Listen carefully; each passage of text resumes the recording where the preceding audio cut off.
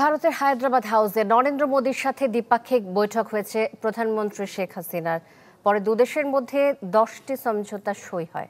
এর মধ্যে সাতটি নতুন এবং তিনটি নবায়ন করা হয়েছে। বৈঠক শেষে দুই দেশের সরকার প্রধান বিবৃতি দেন।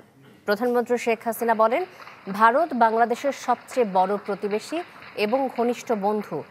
এই বন্ধুত্ব একাত্তর সালের যুদ্ধের সময় শুরু হয়েছে যা খুবই গুরুত্ব বহন করে। আজকে দুই দেশের মধ্যে স্বার্থ সংশ্লিষ্ট বিষয়ে আলোচনা হয়েছে। শেখ হাসিনা আরও বলেন দুই দেশের বন্ধুত্ব বজায় রেখে কর্মপদ্ধতি নির্দিষ্ট করে এগিয়ে গেলে অবশ্যই লক্ষ্য অর্জনে সফল হব।